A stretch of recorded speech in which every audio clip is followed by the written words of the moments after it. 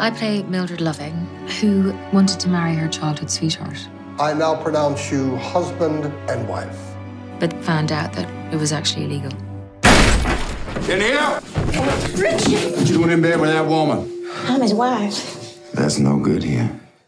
At the time, interracial marriage was against the law. The film sort of charts their journey.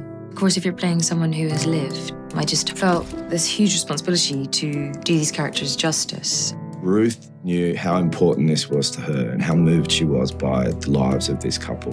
They're so lovely and they're so humble, and you immediately fall in love with them.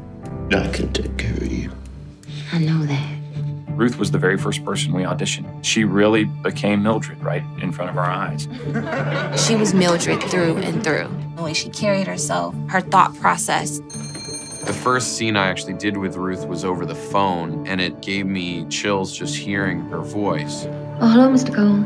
Ruth's performance is so quiet and powerful. We're moving back to the country. I want to raise my family here. When Mildred comes back, she's feeling home again. You know, she can smell it, she can feel the sun on her face. Ruth Negga does so much with so little, which is great film acting.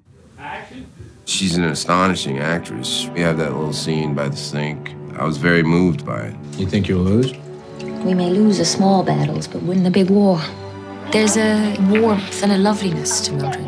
What a brave woman.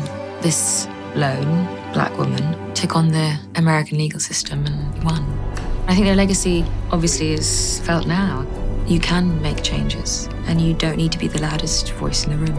It resonates that no one has the right to judge who you should be allowed to love or marry.